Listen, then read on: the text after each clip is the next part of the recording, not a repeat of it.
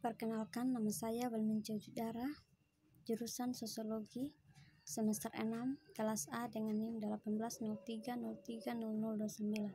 Pada video kali ini, saya akan menjelaskan sebuah buku uh, sebagai tugas mingguan ke-6 dari mata kuliah Sosiologi Politik.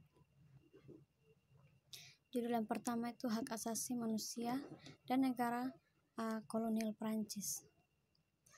Seperti yang kita tahu, HAM itu adalah sebuah konsep hukum dan normatif yang menyatakan bahwa manusia memiliki hak yang melekat pada dirinya karena ia adalah seorang manusia. Uh, HAM berlaku kapan pun, di mana pun, dan kepada siapa saja, sehingga sifatnya uh, universal dan HAM pada dasarnya tidak dapat dicabut. Hubungan antara anti-kolonialisme dan hak asasi manusia global norma setelah Perang Dunia II menimbulkan teka-teki bagi uh, sejarawan kekaisaran praprinsip penentu nasib sendiri. Uh, di saat diproklamasikan dalam piagam PBB, uh, di sini tidak termasuk ada dek, uh, dalam deklarasi universal hak asasi manusia. Juga ada kesepa, kesepakatan yang diperlukan untuk menentukan nasib sendiri pada kemerdekaan Prancis. Dan terkadang uh, delegasi ke forum internasional seperti Majelis Umum PBB uh, mengacu pada deklarasi universal dan mengkritik aturan kolonial, tetapi temuan ini sendiri tidak banyak menjelaskan apakah anti kolonial di tempat lain memahami perjuangan kemerdekaan. Uh, selain itu, ada ambiguitas linguistik khusus uh, kasus di Prancis di antara penutur uh, penutur bahasa Inggris hak asasi manusia uh, memiliki tanda karakter internasional uh, jarang diucapkan sebelum kemunculan di piagam PBB. Nah, dengan demikian, uh, kekerasan negara kolonial Prancis dalam menekan pemberontakan uh, dipertahankan sebagai kebutuhan historis dan dapat dipertahankan secara normal yang berikut kekhawatiran kekaisaran atas munculnya uh, pasca perang hak asasi manusia. Uh, pemerintahan Perancis uh, sudah bekerja keras untuk uh, meredamnya kesadaran uh, dan standar hak asasi manusia PBB di seluruh ke kekaisaran Prancis dan itu sangat prihatin dengan pembatasan terjemahan universal deklarasi ke dalam bahasa Arab uh, yang sehubungan dengan uh, penerimaannya di Aljazair dan proto protektorat di Afrika Utara. Tetapi di sini mereka mempunyai solusi uh, dengan cara uh, untuk menyebarkan teks uh, dari deklarasi universal dari uh, di seluruh kekaisaran seberang laut, tetapi hanya dalam bentuk bahasa resmi mereka yaitu bahasa Prancis dan uh, bahasa Inggris. Nah, di sini juga tiga kekuatan kolonial juga sangat setuju untuk melakukan penyelidikan apakah independen negara-negara Timur Tengah dan Asia telah menerbitkan deklarasi universal dalam bahasa asli mereka.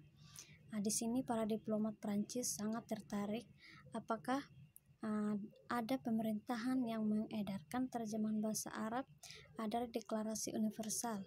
Uh, dan ini adalah uh, pengakuan mereka sendiri bahwa deklarasi universal memiliki potensi untuk mendapatkan daya tarik di antara gerakan anti kolonial.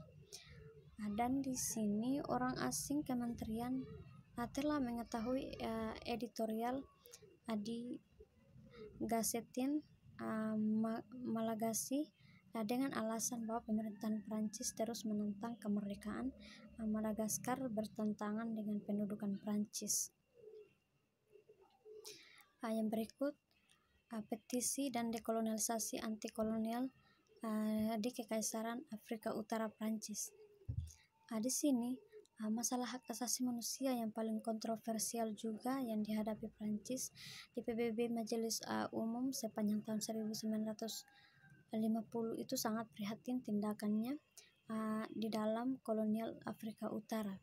Uh, delegasi dari negara-negara anggota Liga Arab menuduh Prancis pada bulan uh, bulan Oktober tahun 1951 bahwa katanya mereka melanggar prinsip-prinsip uh, yang yang diabadikan piagam PBB dan deklarasi universal. Lalu setahun kemudian uh, mereka berhasil dan menempatkan uh, pertanyaan tentang penentuan nasib uh, sendiri di Maroko, uh, di Maroko dan agenda Tunisia dan menghasilkan adopsi uh, resolusi pada bulan Desember 1952 uh, mendesak Prancis untuk masuk ke dalam negosiasi untuk pembentukan lembaga dem uh, demokrasi bebas dan pemberontakannya meskipun ter, uh, berhenti sebentar uh, untuk menentu kemerdekaan. Uh, dan setelah deposisi uh, dan pengasingan Muhammad bin Ayyofes Sultan Maroko pada tahun 1953, Grup Afro-Asia berusaha uh, tetapi gagal uh, mendapatkan Jenderal PBB resolusi Majelis untuk Pemerintahan Prancis. Uh, melalui keluar pemerintahan ini, uh, perdebatan ini, Afro ASEAN Group berpendapat bahwa uh, pihak kolonial Prancis berwenang telah melanggar hukum internasional. Karena perjanjian di, yang ditandatangani di antaranya Prancis dan Protektorat Afrika Utara berada di antara uh, berdaulat negara bagian bahwa pelanggaran hak sipil dan politik individu di Maroko dan uh, Tunisia merupakan pelanggaran prinsip penentuan nasib sendiri uh, diabadikan pada piagam PBB dan bahwa tindakan Prancis merupakan ancaman terhadap uh, perdamaian internasional berdasarkan piagam dan uh, karenanya di, uh, dijamin intervensi. Uh, yang berikut kontestasi dan atas proses pengaduan hak asasi manusia. Selama akhir tahun 1950-an, pemerintahan Prancis sendiri menjadi lebih aktif menindaklanjuti petisi yang dikirimkan, melakukan internal sendiri investigasi atas tuduhan yang terkandung di dalamnya dan berusaha untuk meyakinkan Sekretariat PBB bahwa petisi tidak memenuhi syarat untuk deklarasi kepada Komisi Hak Asasi Manusia.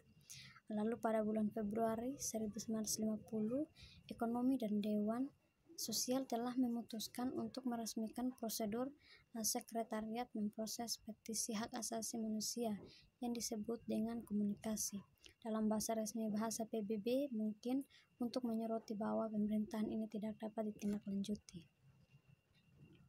Uh, sekretariat akan memilah komunikasi ini menjadi dua daftar. Yang pertama itu uh, untuk petisi tentang prinsip-prinsip yang terlibat dalam promosi uh, penghormatan universal dan kepatuhan terhadap hak asasi manusia. Dan yang kedua itu adalah untuk kategori sisa komunikasi lainnya yang dalam praktiknya berarti tuduhan khusus tentang pelanggaran hak asasi manusia melawan negara dengan tujuan mendorong PBB uh, untuk mengambil tindakan perbaikan. Uh, sedangkan sekretariat uh, mempublikasikan ringkasan teks yang berhubungan uh, dengan publik prinsip-prinsip umum uh, yang membuat daftar hak asasi manusia. Dan mengacu pada negara itu atau wilayah yang dibawa yuridis tanpa membocorkan identitas penulis atau kecuali jika penulis itu sendiri mau menyatakan bahwa mereka telah membocorkan atau bermaksud uh, untuk membocorkan nama mereka dan mereka tidak uh, berkeberatan kalau nama mereka sudah dibocorkan. Uh, yang berikut Prancis, Aljazair, dan kebangkitan kemanusiaan. Di sini untuk lebih memahami uh, taruhan perang Aljazair pada tahun 1950-an dan tahun 1960-an. Pertama yang sangat penting untuk uh, mengkontekstualisasikan Aljazair di Prancis, imajinasi kolonial dan uh, metropolitan uh, dan untuk uh, menempatkan kekaisaran yang unik ini sehubungan bersama asal-usul uh, humanitarisme uh, kontemporer. Uh, ketika Prancis uh, menginvasi, uh, menginvasi uh, Algiers pada musim panas 1930, uh, mereka keluar dari pemerintahan restorasi uh, Bourbon Prancis pada tahun 1915 uh, dan kedatangan Orleanis uh, Juli monarki uh, sedang berjuang untuk membangun politik legitimasi di rumah. Keduanya sendiri mengajar uh, ekspansi ke luar negeri sering kali digabungkan dengan uh, peperangan agresif, uh, seperti yang ditunjukkan Jennifer Sisson Uh, penaklukan Aljazair terjadi pada saat Prancis masih belum pulih dari efek revolusi. Nasib, baru, nasib buruk Napoleon mempercepat musim Mesir Ition dan kekalahannya di Waterloo. Aljazair ditawarkan kesempatan kepada Prancis uh, menemukan kembali proyek uh, imperialnya dan untuk menguji uh, peradaban. Imperialis Prancis tidak harus bersaing dengan ketegangan uh, inheren yang mendasari proyek kolonial selama beberapa dekade. Uh, sedangkan Prancis mendirikan uh, kerajaan di Aljazair uh, pada tahun uh, pada pertengahan abad ke-19. Gerakan kemanusiaan kontemporer berakar pada asal-usulnya uh, terinspirasi oleh konflik di Eropa seperti kerajaan dari awal mula konfliknya kemanusiaan terkait erat dengan aksi militer. Yang berikut, aksi palang merah Prancis selama periode kolonial. Menurut uh, peraturan ICRC, uh, setiap negara hanya diperbolehkan satu masyarakat nasional. Sedangkan di sisi lain sangat logis dan uh, sifat kekaisaran sering uh, bertentangan dengan klaim universalis kemanusiaan. Uh, pemerintahan Prancis uh, termasuk yang paling awal pendukung upaya paling uh, palang merah Henry uh, Dunant pada tahun 1900 1864 yang didirikan Palang Merah Prancis bergabung dengan masyarakat nasional di Jerman, Belgia, dan Spanyol. Uh, di sini tidak mengherankan uh, Palang Merah Prancis uh, menempatkan uh, kantor uh, pusatnya di Paris dan istilah uh, praktis kantor Paris dimaksudkan untuk menguasai uh, layanan di semua uh, di semua pos kolonial Prancis. Sekian video ini. Terima kasih.